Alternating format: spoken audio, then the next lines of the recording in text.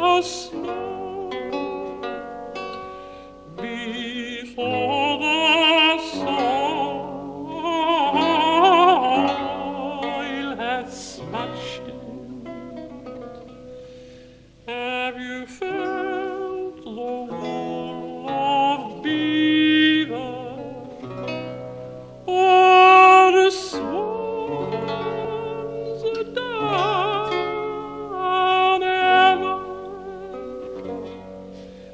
you smelt to the bud of the briar or the now in the fire? Have you tasted the